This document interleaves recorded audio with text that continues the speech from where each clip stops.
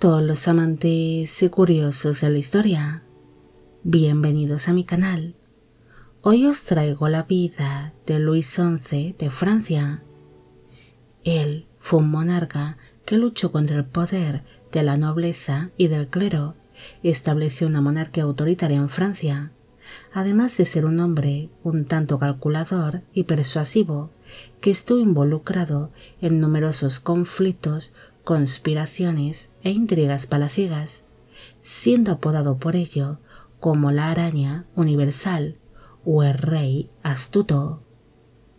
Esta biografía es realizada por petición de Romel Gómez, Carolina Cortázar, Fabiola Serruto, Luis Daniel Bonilla y Christopher del Valle. Luis de Valois nació el 3 de julio de 1423 en la ciudad de Bourges, en el ducado de Berry, en Francia. Fue hijo del rey Carlos VII de Francia y de la esposa de este, la reina María d'Anjou. El matrimonio tuvo doce hijos en común, siendo Luis el primero de sus vástagos. El niño nació en un momento bastante complicado. En ese momento, su padre rey se estaba disputando la corona francesa con el pequeño monarca Enrique VI de Inglaterra, continuando así con la guerra de los Cien Años, además de que mantiene una serie de conflictos y de tensiones con el ducado de Borgoña. Por esta razón, el niño fue enviado al castillo de Loche pensando que el príncipe estaría más seguro en aquella fortaleza ante los conflictos que se estaban viviendo para entonces. En aquel castillo, el niño recibió una buena educación, recibiendo clases de matemáticas, historia, religión, latín, oratoria y leyes, siendo uno de sus tutores el teólogo y político Jean de Jackson. Gracias a la exquisita educación que recibió, el príncipe se acabaría convirtiendo en un hombre con grandes conocimientos sobre leyes, además de que sabía muy bien cómo persuadir a la gente que le rodeaba para que hiciesen todo lo que él quisiese. Su estancia en el castillo de Loche sería feliz. Allí el príncipe tuvo una vida más libre y tranquila estando siempre rodeado de sus sirvientes, tutores y de la gente común que vivía alrededor del castillo. Cuando el niño tenía diez años de edad, su padre rey decidió que el príncipe tendría que vivir junto a sus hermanos en el castillo d'Amboise, un lugar donde estaba sentada la corte francesa, empezando a vivir así entre la nobleza y los miembros del gobierno pero pese a empezar a convivir con su familia, el niño no se mostraría feliz con su nueva vida. Él se había acostumbrado a una vida sencilla y no disfrutaba de los lujos, prefiriendo vivir de una manera más humilde como la gente común. Desde que tenía ocho años de edad, el príncipe estaba comprometido con la princesa Margarita de Escocia, hija del rey Jacobo I de Escocia, un matrimonio que no deseaba para nada, algo que demostró cuando ambos prometidos se conocieron en persona un día antes de celebrarse su boda, viéndose obligado a abrazar a su prometida, pero aquel abrazo sería demasiado forzado y frío. El 25 de junio de 1436 se celebró la boda entre Luis y Margarita en el castillo de Tours, para entonces, él tenía casi 13 años de edad en el momento de la unión y ella 11. Aquella boda sería descrita como muy modesta y sencilla, destacándose especialmente la presencia de los prometidos. Luis parecía más mayor de lo que realmente era. En cambio, Margarita era tan solo una niña, siendo descrita como una hermosa muñeca. Nada más finalizar la ceremonia, los invitados fueron prácticamente expulsados de la misma, especialmente los escoceses, siendo esto visto como un insulto hacia Escocia, aunque en verdad serían expulsados porque la corona francesa estaba para entonces muy empobrecida y no podían permitirse el lujo de festejar el casamiento de los príncipes. Tras celebrarse su boda, los médicos desaconsejaron la consumación matrimonial ante la corta edad de la novia, quien rápidamente sería separada de su marido. Mientras su esposa iniciaba su formación como consorte, Luis realizó una gira por Francia junto a su padre, el rey Carlos VII, y durante este viaje fue reconocido oficialmente como el heredero de la corona francesa, recibiendo así el título de Delfín de Francia. Durante este viaje, Carlos VII se percató de la inteligencia y de la astucia de su hijo, aunque no lo vería como algo a su favor, sino como algo maligno, considerando a su vástago demasiado ambicioso, calculador, conspirador e intimidante, iniciándose así las primeras tensiones y la gran desconfianza mutua que surgió entre padre e hijo. Cuando el delfín regresó a la corte francesa, éste empezó a convivir junto a su esposa Margarita, pero su matrimonio no sería feliz. Luis odiaba a su esposa solo por el hecho de haber sido elegida por su propio padre, además de que suegro y nuera se llevaban muy bien, defendiéndose mutuamente de los ataques del delfín. Su esposa Margarita será descrita como una joven hermosa, graciosa y encantadora que disfrutaba de su vida en la corte, pero ella acabaría desarrollando una profunda depresión ante el matrimonio tan infeliz que le tocó vivir, algo que acabaría mermando su salud. Según se cuenta, su esposa evitó quedarse embarazada, ya que si no le daba hijos al delfín, este podría solicitar la nulidad matrimonial. Por esta razón, evitaba siempre que podía el intimar con su marido. Incluso ordenaba a sus damas que la vistiesen con ropajes muy apretados. Aparte de comer manzanas ácidas, beber vasos de vinagre o infusiones preparadas con hierbas abortivas para evitar quedarse encinta. Mientras su matrimonio fracasaba, Luis intentó hacerse un hueco en el gobierno de Francia, pero su padre apenas le daría funciones dentro de los asuntos del reino. Tan solo encomendó la tarea de combatir a los Ecosiers, que era un grupo de mercenarios que se dedicaban a saquear distintas poblaciones francesas, arrasando así con una buena parte de Francia. También le entregó el cargo de teniente general de Languedoc, pero su padre no le entregó ni dinero ni hombres capacitados para desempeñar tal cargo. Cansado de ser un cero a la izquierda, Luis se dejó convencer por el duque Juan II de Alençon para unirse a la Praguerie, un levantamiento armado encabezado por los príncipes y la alta nobleza rebelde de Francia, donde se tenía planeado someter al rey Carlos VII de Francia y entregarle el cargo de regente del reino al delfín Luis. Pero aquel levantamiento tan solo duró cinco meses y acabaría siendo sofocado.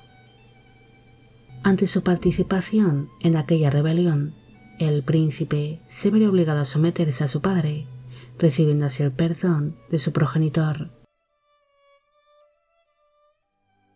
Tras conseguir el perdón de su padre, Luis participó en el sitio de Pontoise, capturando ese último bastión que les quedaban a los ingleses en tierras francesas durante la Guerra de los Cien Años, consiguiendo así liberar a la ciudad del dominio inglés y dar acceso a los franceses a Normandía. Tras este éxito militar, el Delfín vuelve a reunir a los grupos de mercenarios conocidos como Cocher entregándoles así la misión de luchar contra el ejército suizo durante la batalla de Biggs en el año 1444, ayudando así al duque Segismundo de Austria, que era un aliado de la corona francesa, pero aquellas campañas militares acabaron siendo un fracaso para los franceses y el delfín se vería obligado a solicitar la paz.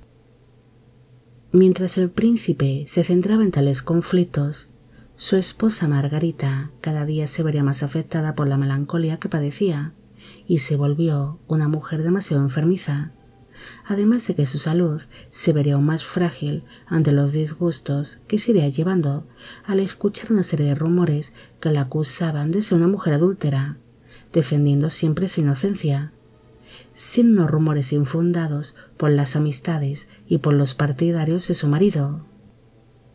Finalmente, la delfina Margarita acabaría falleciendo a causa de una neumonía el 16 de agosto de 1445, a los 20 años de edad. Y según se cuenta, la delfina estaba deseando morir al estar ya muy cansada de su infelicidad conyugal y de toda la pena que sentía por dentro. Luis apenas prestaría atención a la noticia del fallecimiento de su esposa Margarita y no se mostró para nada penado con su muerte. Es más, seguiría intrigando contra su padre, el rey Carlos VII, y contra el amante de éste, Agnes Sorel. El delfín demostró en numerosas ocasiones el profundo odio que sentía hacia el amante de su padre, faltándole respeto en público también la persiguió en una ocasión con espada en mano por los pasillos de palacio con la intención de dar la muerte. Así que esto provocó que su padre decidiese expulsarle de la corte y le envió a la región del Delfinado. El príncipe se instaló en la ciudad de Grenoble y consideró el Delfinado como su pequeño reino, iniciando así su aprendizaje como futuro rey de Francia Además se que atrajo hasta la región del Delfinado a artesanos, comerciantes, banqueros, extranjeros y a todo aquel que no simpatizase con las ideas de su padre, el rey, estableciendo allí su pequeña corte. Pese a la mala relación que existía entre padre e hijo, ambos intercambiarían una serie de cartas donde se mostrarían muy respetuosos el uno con el otro aunque en verdad existe una gran desconfianza mutua y no se soportaban. Es más, el rey llegó a invitar en ciertas ocasiones al delfín a la corte francesa, posiblemente por compromiso, pero Luis rechazó todas y cada una de aquellas invitaciones de una manera muy correcta, prefiriendo vivir en su delfinado, donde era prácticamente el rey y el señor del lugar. Así que tras su expulsión de la corte, padre e hijo nunca más se volvieron a ver. Tras la muerte de su esposa Margarita, la corona francesa negoció un nuevo compromiso para el delfín con la hermana menor de su fallecida esposa, la princesa Juana de Escocia. Pero Luis se negaba a casarse con su cuñada, debido a que Juana tenía problemas para comunicarse con normalidad al ser sorda y la dote que podría entregar era demasiado pobre. Por esta razón, el delfín empezó a buscar por su cuenta una nueva esposa, quedando comprometido con la princesa Carlota de Saboya, ya que los duques de Saboya estaban dispuestos a entregar una cuantiosa dote solo por establecer alianzas amistosas con la corona francesa y por ver a su hija convertida en reina consorte de Francia. El 9 de marzo de 1451 se celebró la boda por poderes de la pareja en la capilla del castillo de Chambéry, en el ducado de Saboya, celebrándose posteriormente su boda oficial el 2 de abril de dicho año en la ciudad de Grenoble, en Francia. Para entonces, él tenía 27 años de edad en el momento de la unión y ella 10 Aquel matrimonio no contó con la aprobación de su padre, el rey Carlos VII, siendo un casamiento que había sido ideado a las espaldas del gobernante. Además, su matrimonio no sería considerado válido en un principio, debido a que no habían solicitado la dispensa papal que les permitiese casarse ante la corta edad de la novia.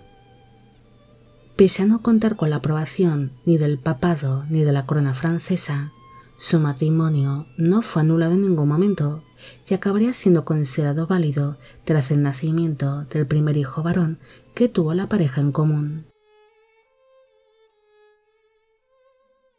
Su padre, el rey Carlos VII de Francia, se mostraría realmente furioso con él por sus acciones y por actuar siempre libremente, además de que se encontraba muy cansado de seguir soportando las intrigas palaciegas y las calumnias que volcaba sobre él su propio hijo. Por esta razón, acabaría enviando al ejército francés a tomar la región del Delfinado, aparte de que levantó las armas contra el ducado de Saboya. Ante el avance de las tropas francesas, Luis abandonó el Delfinado y buscó refugio en el ducado de Borgoña, lugar donde sería acogido por uno de los principales enemigos de su padre, el duque Felipe III de Borgoña, apodado el Bueno. Cuando el rey Carlos VII descubrió que el duque de Borgoña había dado cobijo a su hijo y que le estaba protegiendo, pronunció estas palabras.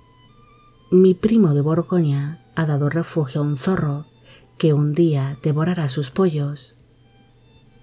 Luis disfrutó plenamente de su estancia en Borgoña.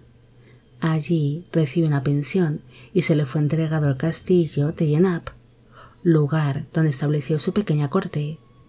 Después reclamó la presencia de su esposa Carlota, quien se había quedado en tierras francesas tras la huida del delfín, estableciéndose ambos en dicho castillo, donde convivirían junto a la nobleza del lugar, celebrando junto a esta bailes, banquetes y cacerías. Durante su estancia en Borgoña, el matrimonio empezó a traer a sus hijos al mundo. En el año 1458 nació un niño llamado Luis, pero este falleció durante la infancia. En el año 1459 nació Joaquín, pero este falleció a los pocos meses de nacer. En el año 1460 nació una niña llamada Luisa, pero esta falleció al poco de nacer. Y en el año 1461 nació otra hija llamada Ana, que sería duquesa consorte de Borbón y regente del reino de Francia. Tres meses después del nacimiento de su hija Ana, falleció su padre, el rey Carlos VII. Así que ante esta situación, Luis abandonó rápidamente el castillo de Yenap para llegar lo antes posible a tierras francesas ante el miedo de que su hermano pequeño Carlos, que era duque de Berry, le arrebatase el trono ante su ausencia, sentándose en el trono francés bajo el nombre de Luis XI. El nuevo monarca se mostraría indiferente ante la muerte de su progenitor y no asistió a su funeral. Ante el miedo de que le quitasen el trono, ordenó ser coronado lo antes posible, celebrándose su coronación el 15 de agosto de 1461 en la Catedral de Reims, siendo coronado apenas un mes después del fallecimiento de su padre. A Luis XI no le gustaba para nada la ciudad de París, así que decidió retirarse junto a su corte al castillo d'Amboise, lugar que había sido escogido por su propia madre, la reina viuda María d'Anjou, como lugar de retiro. Según fueron pasando los años, la relación que mantuvo Luis con su esposa, la reina Carlota, se iría enfriando y el matrimonio se acabaría distanciando demasiado. Aún así, consiguieron traer más hijos al mundo. En el año 1464 nació una hija llamada Juana, quien sería brevemente reina consorte de Francia, además de ser considerada una santa por la Iglesia Católica. En el año 1466 nació Francisco, pero este falleció a las pocas horas de nacer. Y en el año 1467 nació el último hijo de la pareja, un niño llamado Carlos, el futuro rey Carlos VIII de Francia. El matrimonio tuvo un total de ocho hijos en común, aunque tan solo tres de ellos conseguirían llegar a edad adulta. Luis también tuvo algunos hijos ilegítimos, fruto de sus relaciones con distintas amantes, entre las cuales se destacan a la dama Feliz Reñar, con quien tuvo dos hijas llamadas Juana y Guyet, y la dama Margarita Sassenag, con quien tuvo tres hijas, Guyet, María e Isabel. Tras sentarse en el trono francés, Luis XI continuó con algunas de las políticas de su fallecido padre, como por ejemplo la de quitarle poder a la nobleza. También impulsaría una serie de reformas económicas para mejorar la situación económica del reino, que estaba muy afectado y empobrecido tras haber soportado durante tantísimos años toda clase de conflictos como la guerra de los cien años. El monarca pronto apartó de su lado y de la corona a todo aquel que en su día fue considerado amigo o cómplice de sus fechorías, a los cuales en su día les hizo falsas promesas de entregarles poder a cambio de su apoyo tanto económico como militar. Pero finalmente se desvinculó de ellos y acabaría entregando una serie de cargos a personajes sin rango ni buena posición que realmente tenían talento y demostraban estar capacitados para desempeñar tales funciones tanto dentro de la corte como en el gobierno.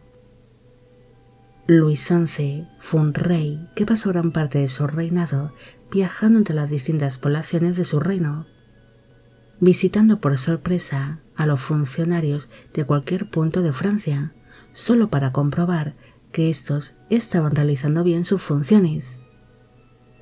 El monarca también tuvo algunas tensiones con el papado. Cuando Luis era del fin de Francia, este había prometido al Papa Pío II el abolir la pragmática sanción de Bourges, que había establecido su padre, el rey Carlos VII, para quitarle poder a la Iglesia en Francia. Pero tras sentarse en el trono francés, el nuevo monarca quiso imponer sus propias normas donde Francia seguiría siendo independiente de la Iglesia Católica, algo que no le gustó para nada al papado. Así que finalmente el monarca volvería a implantar las políticas religiosas de su fallecido padre. El monarca sería un hombre muy meticuloso que quería que todo estuviese realizado correctamente. Por esta razón, extendió una gran red de espías y de agentes secretos por toda Francia, quienes controlaban a los funcionarios y comerciantes, además de espiar a la nobleza, enterándose así de todo lo que estuviese pasando en su reino y si todo se estaba desarrollando con normalidad. El gobernante dejaría a un lado los lujos y las comodidades que le brindaba su posición, prefiriendo vestir de una manera muy sencilla, además de que siempre estaba rodeado por sus consejeros privados, los cuales en su mayoría eran personas de origen humilde y de bajo rango social, aparte de que le gustaba rodearse y divertirse con la gente común, favoreciendo especialmente a los comerciantes que se acabarán convirtiendo en la burguesía francesa, considerándolos como la esperanza de Francia para que el reino floreciese y se recuperase económicamente. Luis sería conocido por ser un hombre un tanto calculador, al que le gustaba entrometerse en los asuntos de otros reinos y estados, siendo un monarca que interfiere en los asuntos políticos de otros dominios vecinos. Uno de los primeros asuntos en los que se entrometió fue las disputas sucesorias de la corona navarra y aragonesa, interfiriendo como supuesto mediador entre el rey Juan II de Aragón y el hijo mayor de este, el príncipe Carlos de Viana.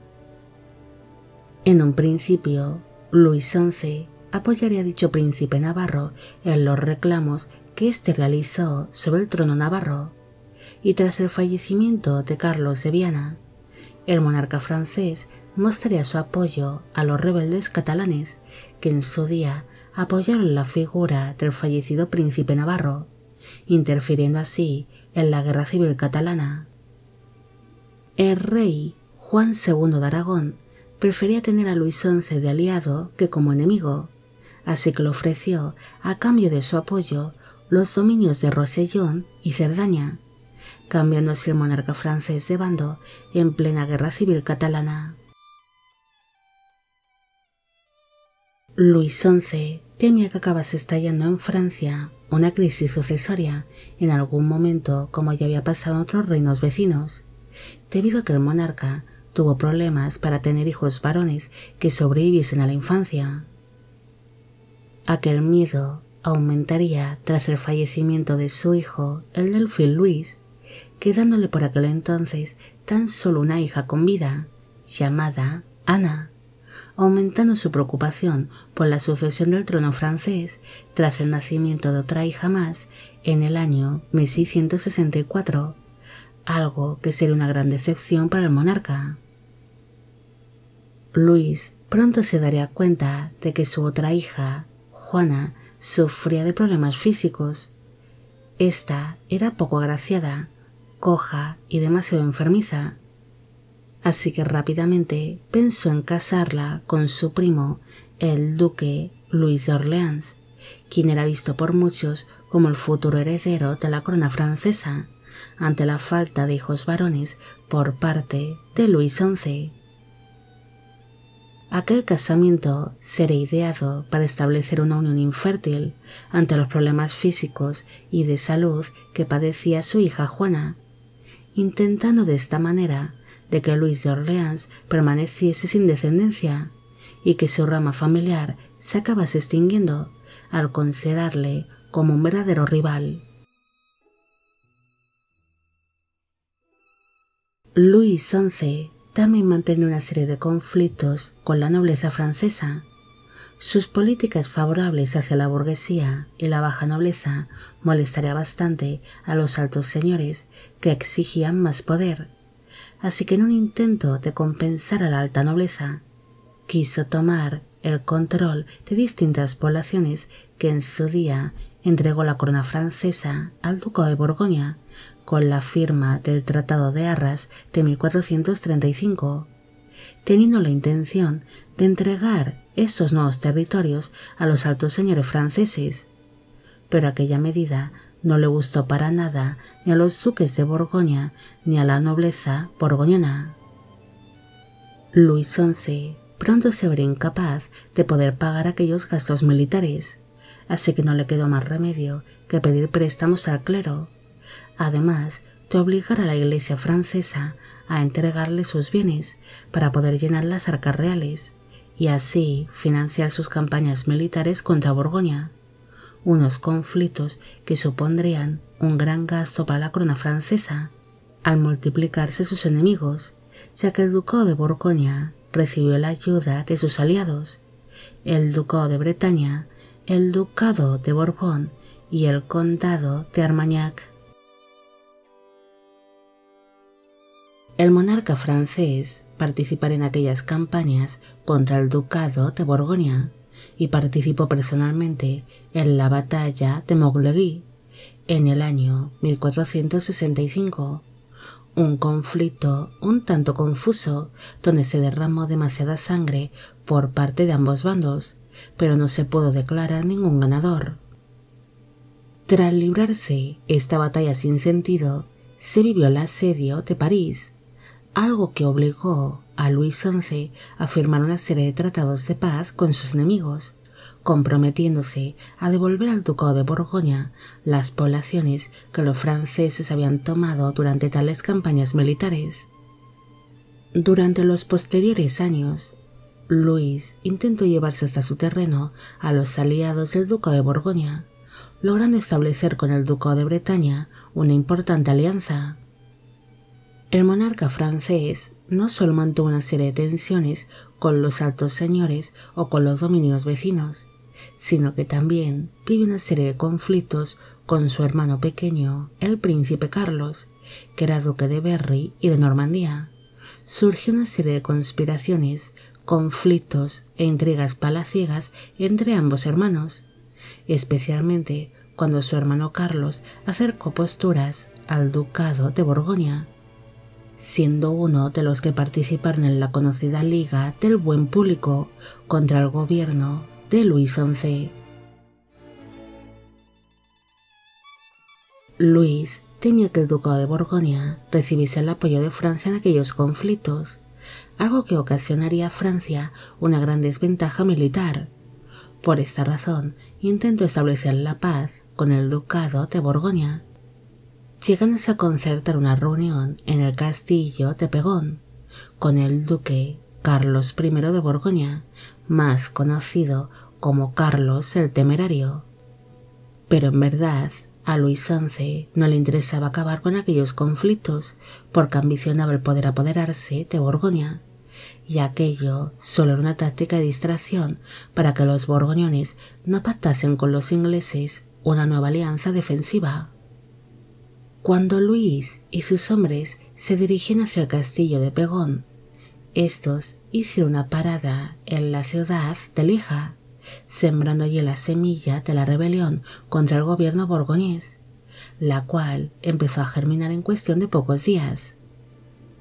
Mientras se mantenía aquella esperada reunión entre Luis XI y Carlos el Temerario en el castillo de Pegón, el duque de Borgoña se enteró de los levantamientos que se estaban viviendo en Leja, llegando hasta sus oídos que la corona francesa era quien estaba realmente detrás de tal rebelión.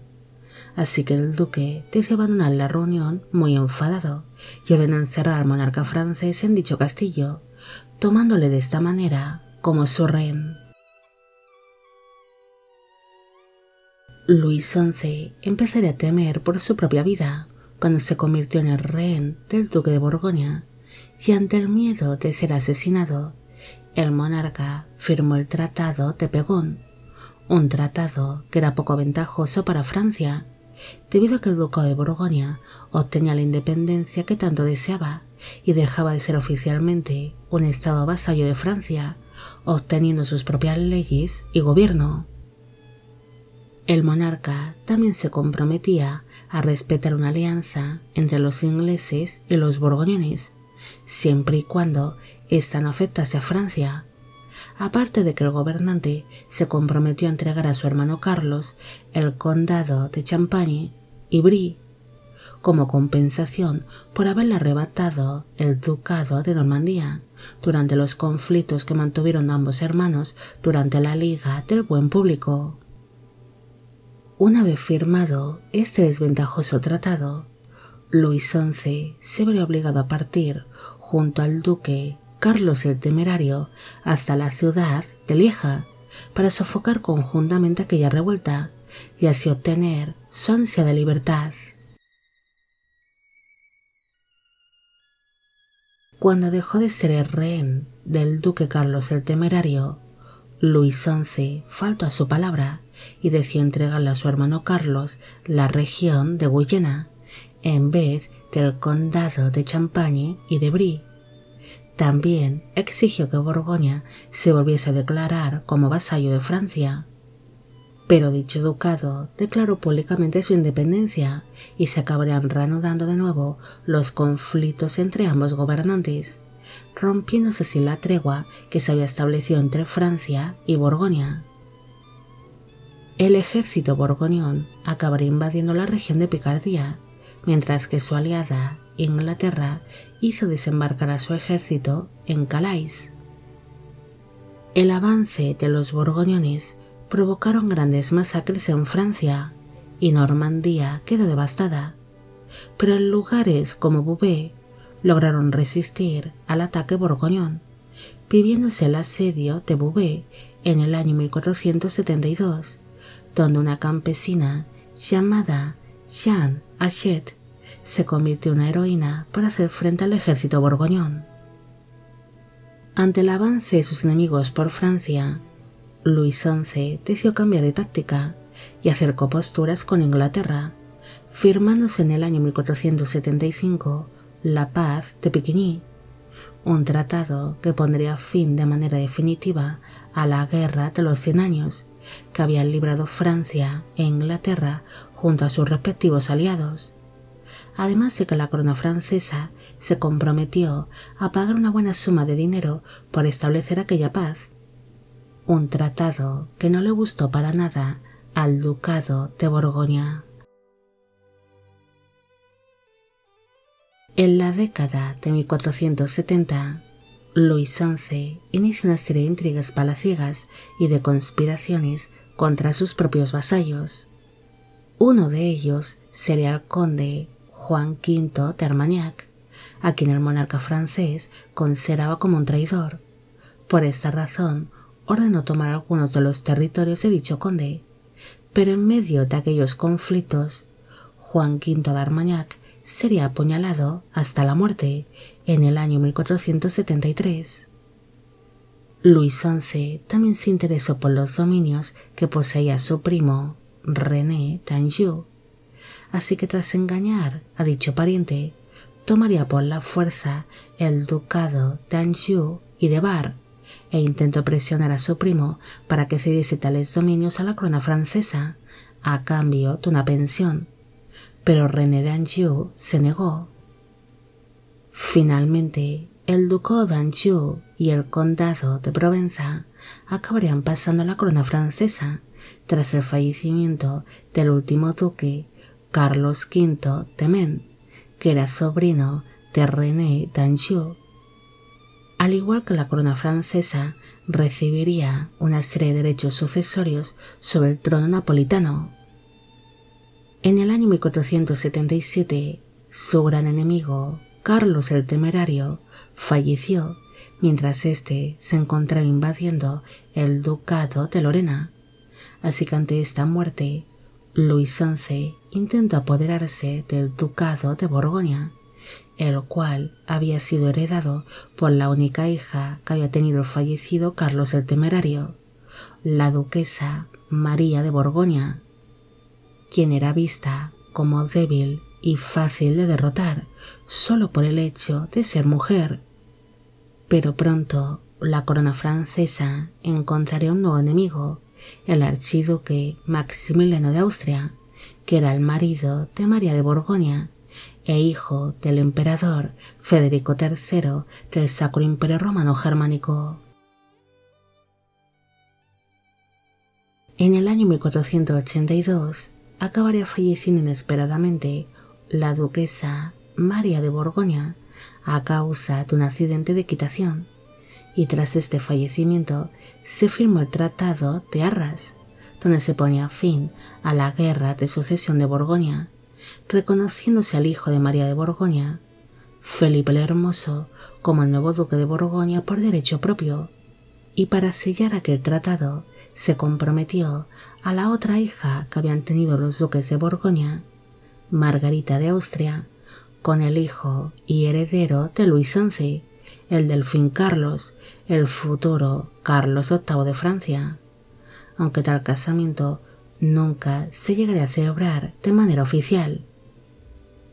Aquel tratado sería realmente muy beneficioso para Francia, debido a que Margarita de Austria aportaría como dote parte de los dominios que Francia había conquistado durante sus conflictos contra Borgoña, siendo anexionados a la corona francesa distintos señoríos, condados, poblaciones y castillos.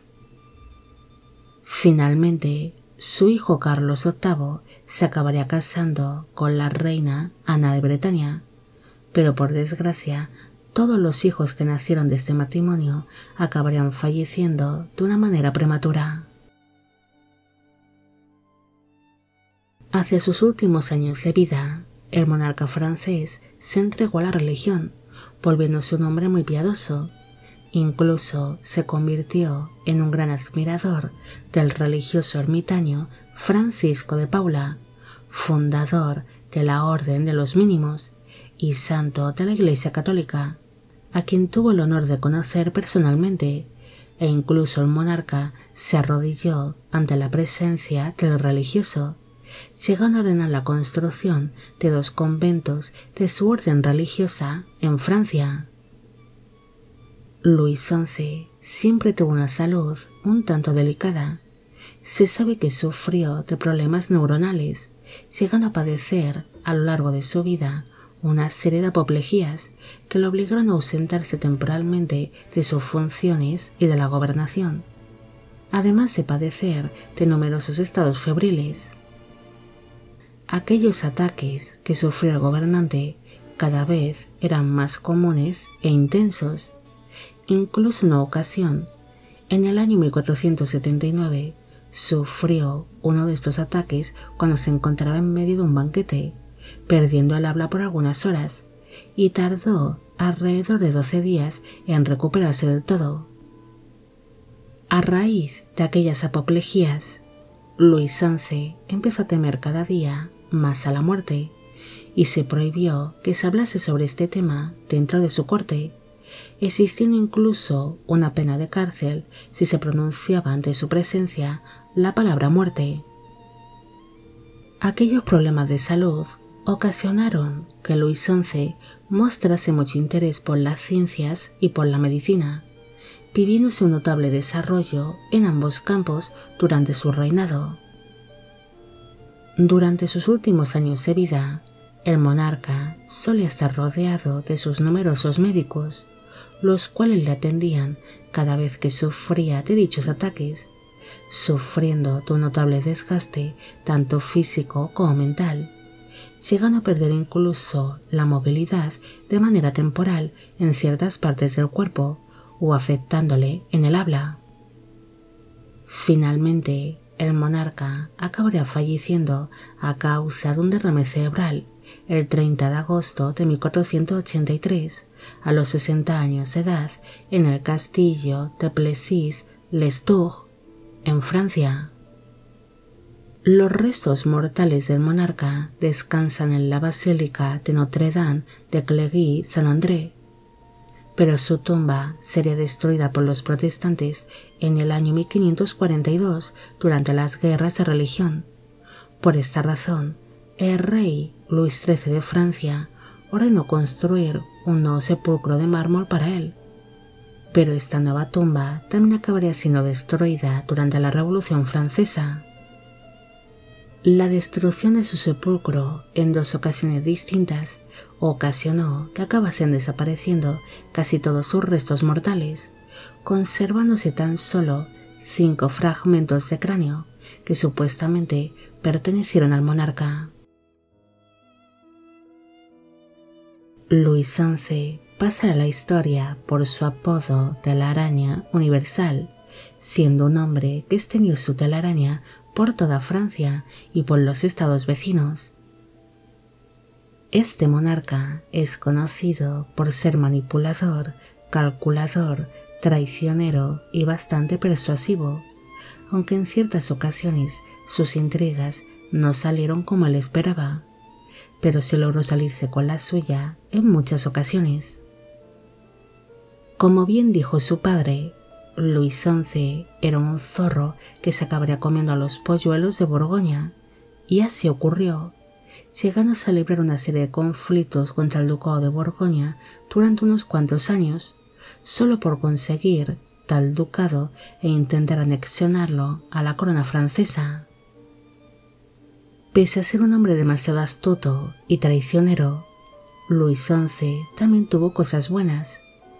Él apostó por los comerciantes y por los mercantes franceses, creándose así la burguesía francesa también apoyaría el desarrollo de la medicina y de las ciencias, pidiéndose un notable avance de ambos campos durante su reinado, aparte de que intentó acabar con los altos señores franceses para establecer una nueva sociedad que no dependiese tanto de la nobleza, la cual era incluso más poderosa que el propio rey, pidiéndose durante su mandato una serie de cambios que empezaron a modernizar tanto el reino como la sociedad francesa. Bueno amigos, llegamos al final de la vida de Luis XI de Francia. Espero que os haya gustado esta historia y espero a que a todos los que me pedisteis que hiciese un vídeo sobre él también. Al inicio solo he mencionado a las cinco primeras personas que hicieron esta petición, para no hacer una introducción demasiado larga y aburrida. Los demás seréis mencionados ahora. Esta biografía es realizada por petición de Snyder, Ariel, Martín Tello, El Magnánimo 1825, Polígades Belén Lacaba, Ronaldo Vázquez, Juan Rosenstock y Facundo Manuel Mesere. También quisiera agradecer a Sandra Carrasco su gran apoyo al canal. Y con esto me despido. Hasta la próxima.